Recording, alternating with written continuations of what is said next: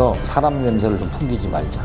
사람인데 거대한 시스템 같은 커다란 벽처럼 보였으면 좋겠다. 라는 얘기를 했고요. 정말로 이제 그 귀남이란 역할에 딱 맞게 정혁 씨는 물불을 안 가리고 몸을 사리질 않아요. 카메라가 돌아가면 또 눈빛이 달라지고.